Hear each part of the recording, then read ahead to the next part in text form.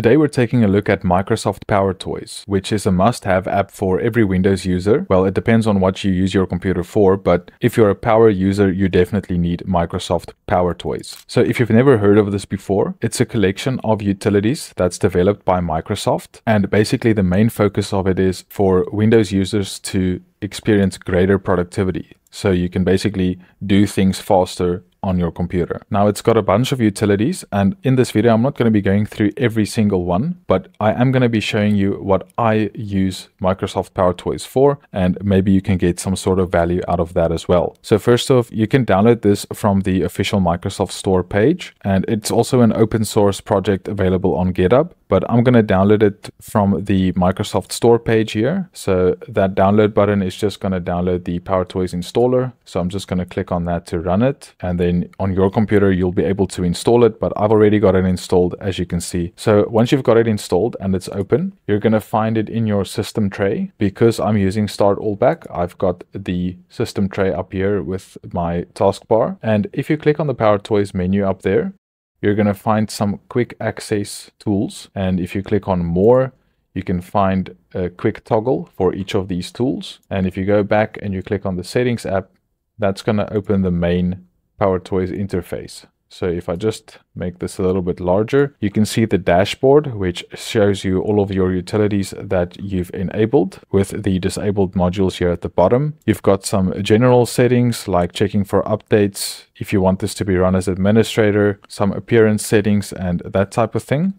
And then you've got the actual tools, which are grouped in different categories. But like I said, I'm not going to be going through each and every tool. I'm just going to highlight those that I use on a day-to-day -day basis. So the first one being PowerToys Run. So what PowerToys Run does is it basically gives you a run box if you use the activation shortcut. And if you're familiar with other operating system, then this looks quite familiar because you can now launch apps using Power PowerToys Run. So you can search for anything. If I want to open Steam, for example, and I do a search for Steam, then I can open the Steam application by just doing a search for it here. The other thing you can do with this is you can use this as a calculator. So if I just go and type 10 plus 10, it's going to show me the answer for 10 plus 10. And if I click on this answer here, it's going to copy the number to the clipboard. So if I've copied that and I just open a new text document, if I open that and then paste, it's going to paste the answer. So in the past, I've always been used to using the built-in calculator in Windows, but since I've started using PowerToys, whenever I want to do a quick calculation, I just open the run box and then do that calculation, and then I can just easily copy the answer to the clipboard as well. Now, if I clear this,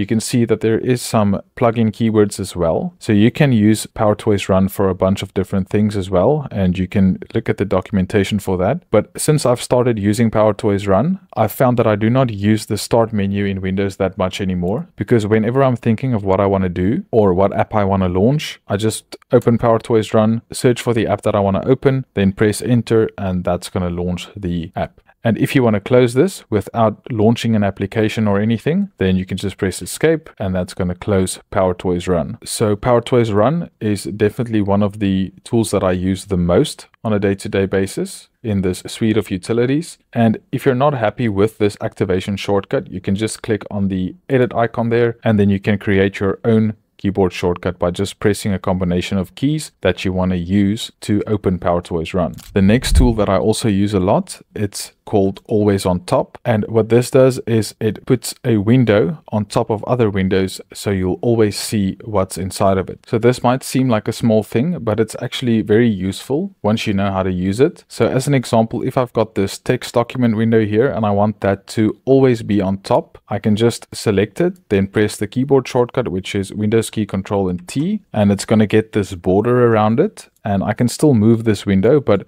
if I click on the PowerToys Run window, you see that it doesn't display above the pinned window here. This is going to stay on top of any other windows. And I found this to be very useful when I've only got one screen that I'm using and I need to look at one document or window and type or work in another window that I have pinned here. So this is very useful. And if you close that window, it's obviously not going to be pinned anymore, but that's also one of the most useful modules in PowerToys. The next one is Fan FancyZones. So FancyZones is almost like a tiling window manager. It just gives you some more control over how you can use the space on your screen. So the first thing that you're going to do here is to launch the layout editor. So if I open that, now I can choose the monitor that I'm working on. This is my main monitor, which I'm screen recording right now. So here we've got some templates that we want to use when we activate FancyZones. So you've got some presets here, but as an example, let's create a new layout and I'm going to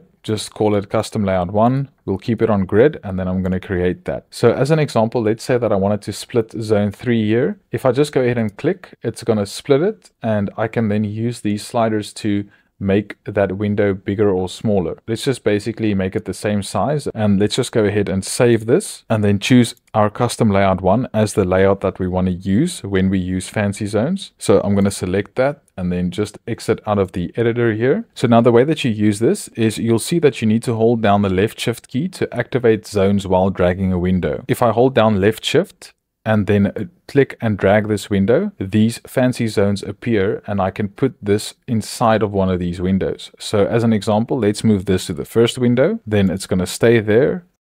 Let's move my VMware workstation to one of these windows down here. And then let's also put some other windows here. Let me just open to File Explorers, hold down left shift, and then click and drag this window and place that inside of that as well. Now I've got this layout that I created and I can see all of these windows and I can work inside each one of them at the same time and just have access to a whole bunch of different information on the same screen. And then once I want to use one of these full screen again, I can just maximize it and it's going to take all of the space on the computer. So you can create your own layouts that's going to work for you. And like I said, this is basically like a tiling window manager, but it's not it basically makes it a little bit easier for you to create your own layouts here and then also switch between these layouts depending on what you want to do.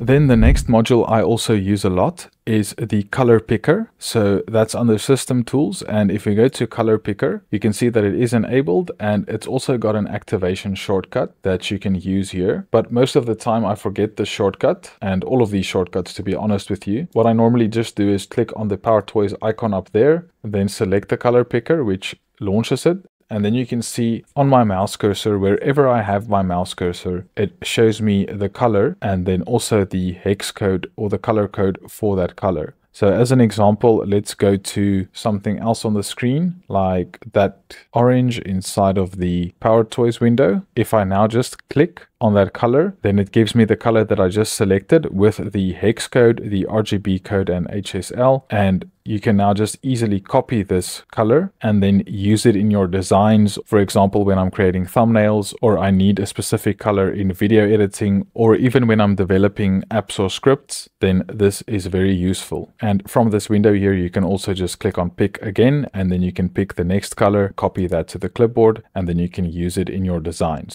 The next utility is the text extractor. The text extractor does exactly what it says in the name. It copies text from anywhere on the screen. So this can be a PDF file, this can be a image. I normally always just click on the icon in the system tray, then select the text extractor, and it basically opens the same interface as a snipping tool. Then you can just go and select the text that you want to copy. So for example, you can see that it's recommended to use the snipping tool instead of the text extractor module. It seems to be built into the snipping tool. But if I let go of the mouse and I select this text, it's going to be automatically copied to the clipboard. So if I now open a text document and I press Ctrl and V to paste, you can see that I have the text that I just copied from the screen in this notepad file here. And this is actually quite useful even if you're not just extracting one sentence at a time. For example, I'm pretty sure if I take a screenshot of this whole screen here and then also paste that. It is going to extract most of the text that I had on the screen here, but obviously it won't be formatted exactly like you see here. It's just going to be plain text exactly like you can see in this notepad file here. But that's also very useful, especially if you have an image that has text that you obviously can't copy. So those five modules are definitely the ones that I use the most, I would say almost on a day-to-day -day basis. But I do want to give some honorable mentions to the following ones, and that's going to be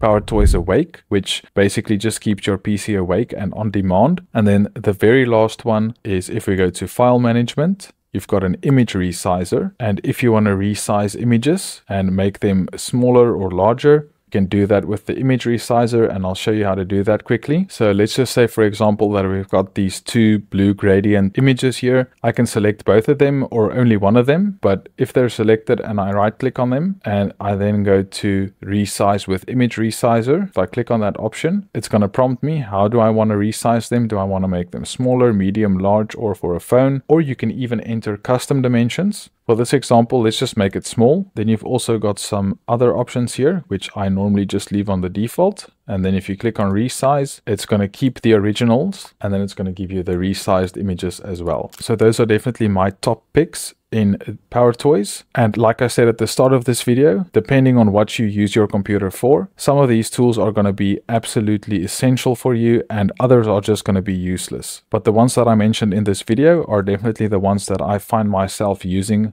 the most at the time of recording this video and I really do hope that you found some sort of value in this video as well. If you did, please give it a like, share your thoughts about PowerToys in the comments down below and I also want to give a special shout out to all of my YouTube members. Thanks to everyone for supporting the channel, I really appreciate it and I'll talk to all of you guys soon.